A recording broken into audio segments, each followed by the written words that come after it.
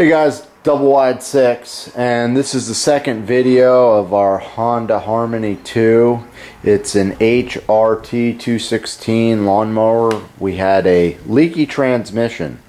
In the first video, I showed you how to remove the transmission after I figured it out, and that took me about maybe about a 40 minute job, I would say, because I had to take off every baffle. Um, luckily, I was smart enough to get this thing up on a table because uh, I've been having back problems. So now we have this thing up right where we want it. And uh, today I cleaned everything off and we're going to begin um, taking it apart. So at this point I have the transmission cleaned off and I've gone around the perimeter and removed all the Torx head screws and there's like a plate with the screen or with the spring that was on here. I took this off. I wasn't sure if I need to. And there was also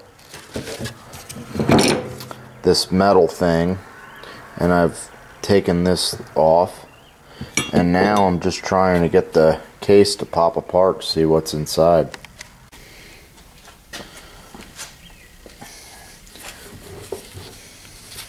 I don't know if there's like RTV cement between the case or a gasket or what, but whatever it is, it's, it's pretty stuck.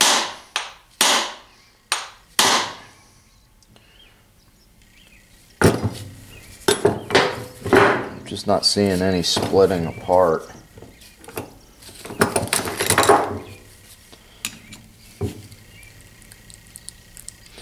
Uh, I can hear it a little bit. It sounds like RTV sealant. Alright, um, it seems to be a little easier to actually pry uh, with this thing upside down. So this is the bottom side here. And I'm thinking there seems to be more pry points to get a screwdriver in here.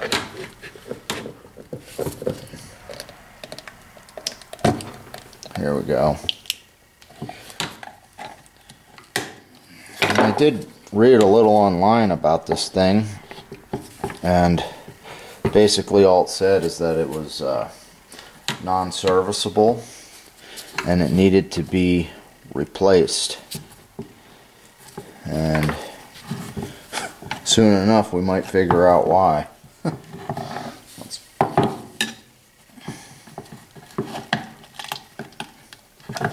Yeah, they just have it RTV sealing it together.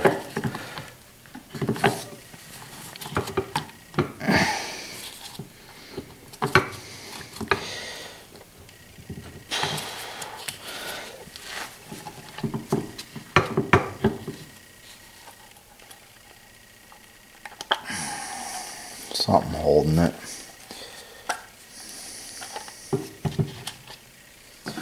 Alright there comes what they call grease, but it looks more like an oil. But uh, Honda makes their own fluid to go in there. I think they call it grease though.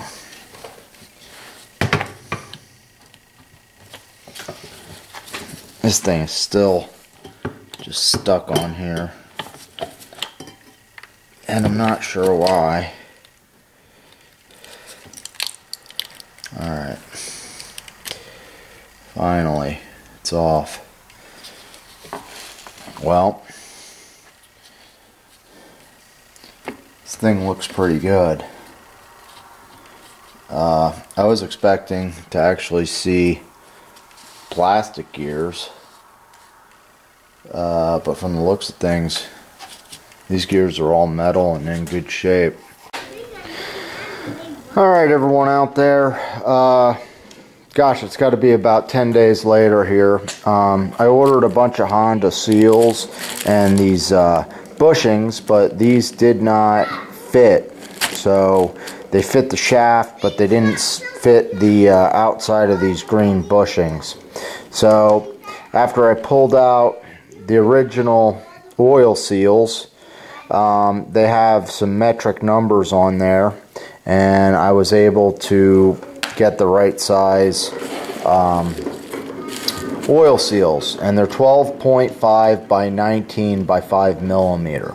So I've already installed one here. I'm going to put one on the other side and this one up here is the exact same size so I ended up getting three of them and um, I was able to actually find those on eBay so we'll show you how to put this thing back together hopefully so here's how I'm going about doing this I'm just sliding off the old bushing which kind of looks like this the seals are on the outside and you can just take like a screwdriver and pop these out with a little bit of twisting. There we go. And then the new seal will fit right in here. They're a nice snug fit. So I'm just pushing those in. And I'm putting a little bit of oil right down the shaft. And once we have that, we can work our seal right down the shaft to where it needs to be. Oops, this one popped off there. There we go. Yeah, the funny thing is, is the way the uh, plastic case is with this thing, you can't do the seals from the outside of the plastic case because you can't access them so you have to take everything apart. Kind of a pain. So I did the two end seals on here underneath the green bushings and the last one is actually on this uh, top shaft here now this one actually feels really loose so it's a good thing I ordered that and we'll fit that one right on there just like that. So that's the three seals and that is where I think my leak was coming from, one of those three seals. I think it might have been coming out the top and also one of the sides. Um, so now what we're going to do is uh, try and reassemble this thing. Um, I was not able, I didn't have to actually take this apart to uh, line up this yoke on the main shaft. So I'm basically going to try and pressure fit this thing back on here and then reassemble the entire transmission. Hey guys, double wide six, and uh, I think this is my third time at filming this video. I started out taking it off the lawnmower, and then once I got it off the lawnmower, I started taking this case apart I ordered a whole bunch of uh, Honda parts, but it turned out I got the wrong parts.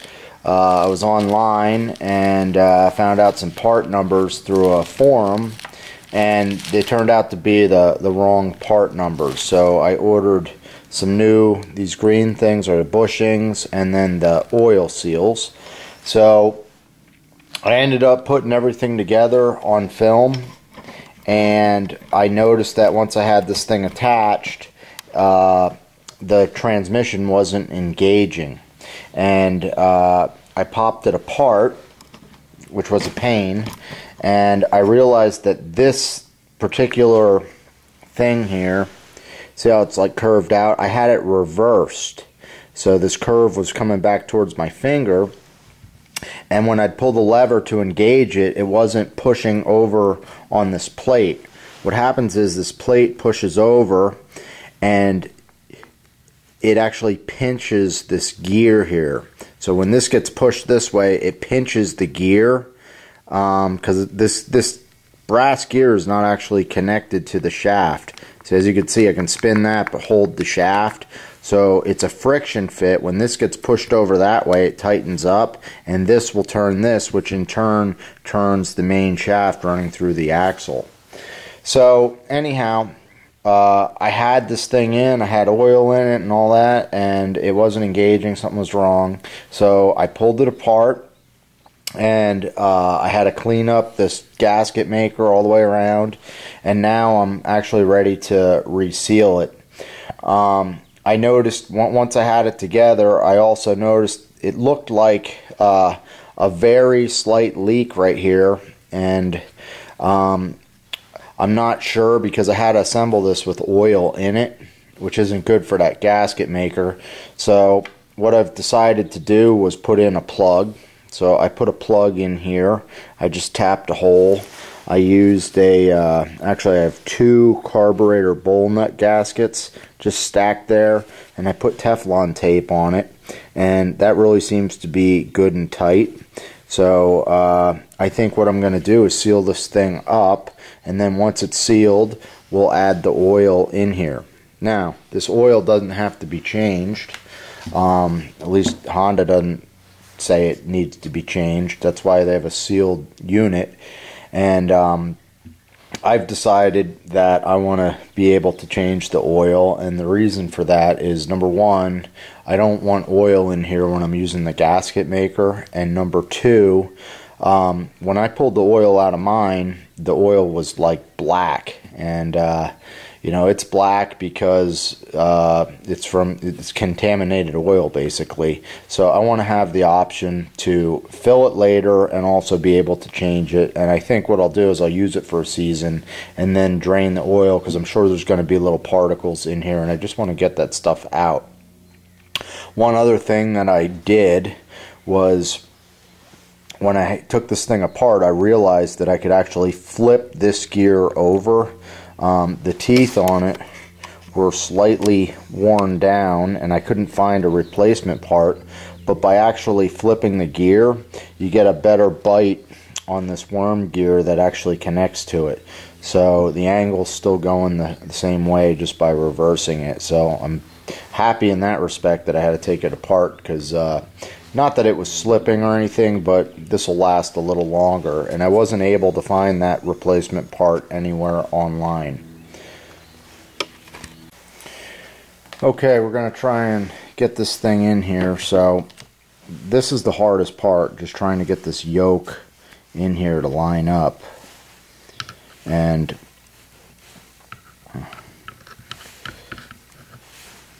I know it takes like some pretty good wiggling.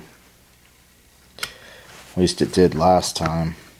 And you got to be a little bit forceful with it. Um, I, I wasn't able to remove this yoke, and I probably didn't pull hard enough to actually get it to remove. But there we go. With a little pushing, you can get it to engage. Okay, that looks like that's in there good the next thing that you have to do is put in this thing and this goes in here this way so that that curve goes away from me. So that'll lock in good and there's a nut that goes on the back of that.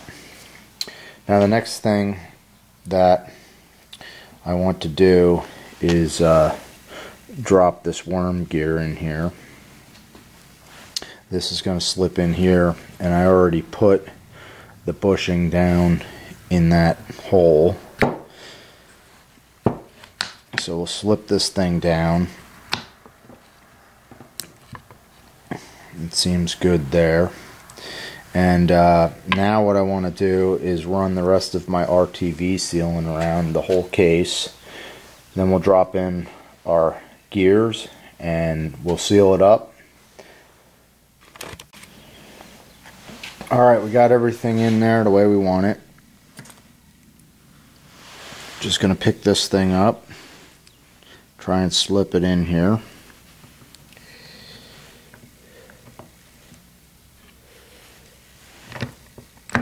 There we go. Nice perfect fit. And that's meshed very well with the worm gear.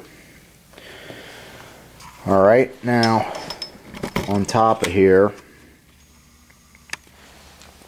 is a cap. I want to be sure not to forget that. That will go there. And I'm going to run RTV around this top case. I have a fair amount on here. And uh, I'm just going to do a lighter amount on this top. And then I think we can try and get it attached. So at this point I have everything together. I've put the uh, RTV on the other half.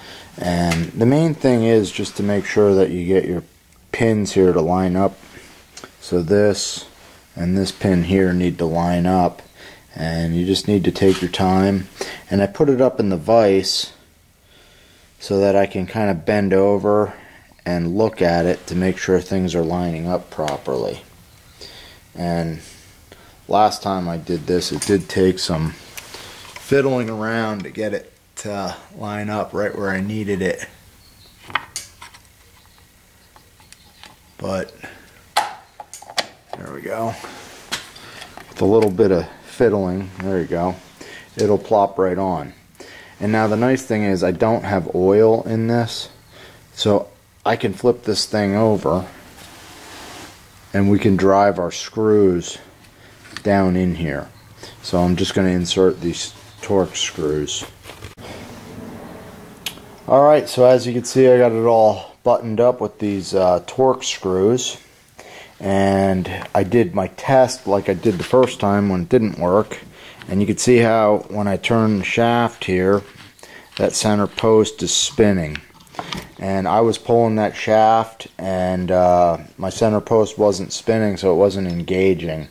So um, by taking it apart and doing it the second time um, I was able to get it in there right. Uh, I won't know if it works for sure until I get it into the mower.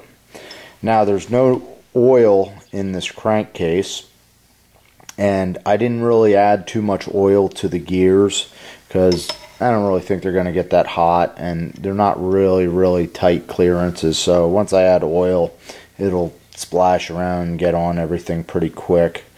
Um, one of my subscribers mentioned in the last video that a lot of the problems with these Hondas as far as the wheels not working has to do with these little tiny springs in that keyway there. And I noticed that there was a fair amount of dirt in both of these. So I took his advice and I cleaned that out with a little brake cleaner made sure the spring was working well on both ends. And I guess now all I have to do is I want to let that gasket maker sit probably for 48 hours just so that I'm sure that it's good and dry. And then I'm going to pull my plug and add my oil. It takes four ounces. Um, I was going to add 5W50 synthetic. Um, I've used that for other transmissions, but from what I read online, you want to put in 4 ounces of 10W30 synthetic. So I think what I'm going to do is I'm going to engrave on the bottom the amount of ounces and uh, the oil to use. And I also, I took a little risk here by putting this plug in. I don't want it to leak. So the smart thing to do would be put it on the top side of the transmission. But the problem with doing that is you can't access it or drain it if it's on top.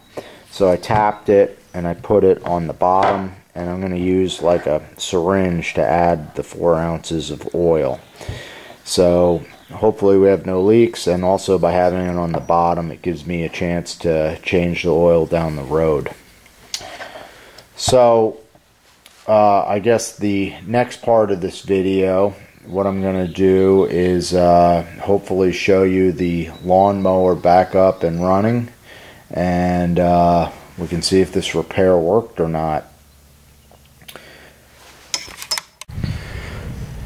Alright guys, it's later on, same day. I only gave that RTV about 8 hours to dry, but it seems good. And uh, I put the mower back together, I tested it out, and the wheels weren't turning at all. And uh, I found out quickly that I had the ratchets on the wheels backwards. So I flipped those around and the mower really seems to be pulling itself quite well. I did a few hills and uh, the uh, the traction on the wheels there's nothing there so I'm gonna order some new wheels all around for the mower. But uh, anyhow it seems to be working great. Um, it was a very tough project. Um, everything just from taking the transmission out that was a bit of work and then uh, you know putting the thing back together after I got the seals in. So um, I don't know is it is it worth it if you do it yourself I, I guess it is if you like playing around with this stuff and you have time um, I think the whole job took me probably about three hours maybe four um, but everything worked out well eventually. I had a couple little hiccups there where uh, I had to take it apart and then put it back together. But I got it done and I'm happy I did it. Um, you know, it only costs about six bucks in seals uh, in order to fix this thing. So, uh, you know, it's, it's probably like a $400 mower new. So anyhow, I'll show you this thing running um, and uh, I'll show you the transmission when I'm done. We'll take a quick look.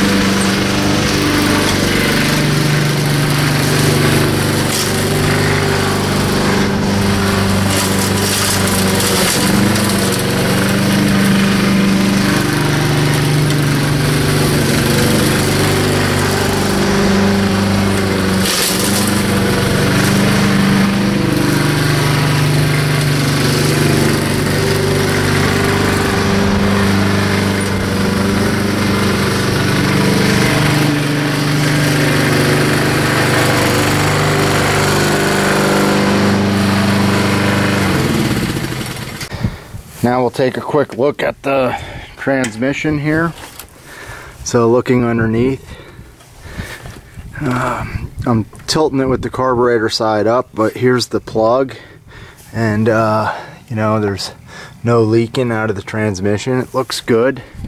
I filled it up with, uh, I put a hair over four ounces and I actually went with the uh, 5W50 synthetic even though they recommend the 1030 synthetic just because it's a little bit thicker.